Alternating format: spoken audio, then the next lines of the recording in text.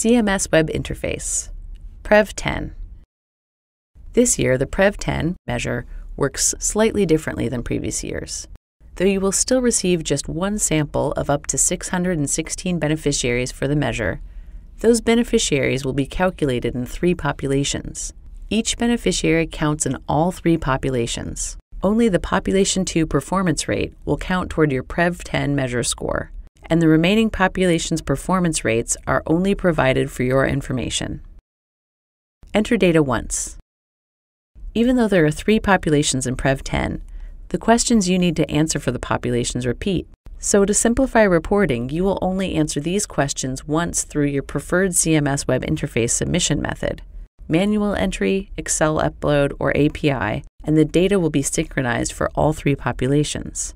Please review the CMS Web Interface Measure Specification document for how your answers are used to calculate each population performance rate.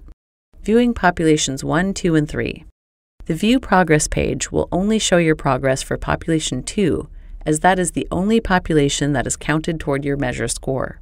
To see all three populations and how your beneficiary sample is applied to each population, you can access the Measure Rates report on the View Reports page. Here you will see a Measure Rates card for PREV 10 that contains additional information for each population. You can click on each number to get additional details in the Measure Rates Detail Report. Inside, there are tabs for each of the numbers you saw on the Measure Rates card, including details about each beneficiary that falls into that number.